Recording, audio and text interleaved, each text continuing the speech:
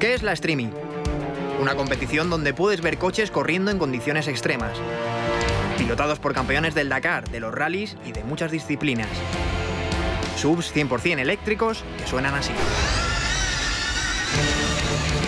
Compiten en escenarios remotos para visibilizar el calentamiento global, la desertificación del planeta y muchas cosas más. Y con ese objetivo ha venido hoy aquí hasta la isla de Cerdeña, a una base militar convertida en circuito, donde los coches se van a medir en igualdad de condiciones por un terreno muy exigente con las mecánicas en esta competición 100% eléctrica.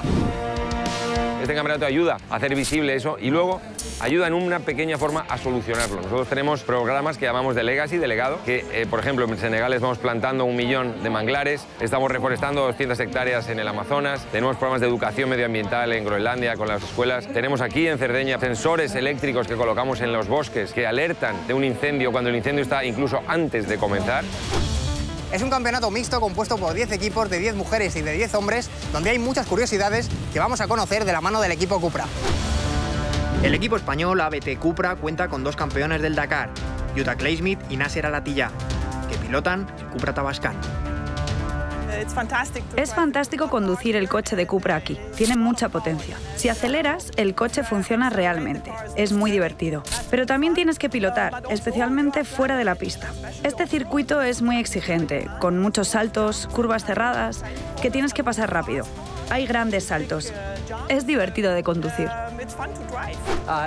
Tengo grandes sensaciones con el Cupra. Estoy muy feliz de ser parte del equipo y siempre sonrío cuando lo conduzco. Cupra, McLaren, Hammer, marcas de coches presentes en esta competición donde las mecánicas son iguales para todos. Las manos de los pilotos y los reglajes del coche marcan las diferencias. Podemos cambiar algunas cosas. Como ves, ahí tenemos el chasis del Tabascan. Cada uno puede elegir el setup del coche. Puedes variar la altura, también puedes cambiar el balance. ¿Cuánta potencia quieres delante, detrás? Un motor eléctrico es muy fácil de configurar.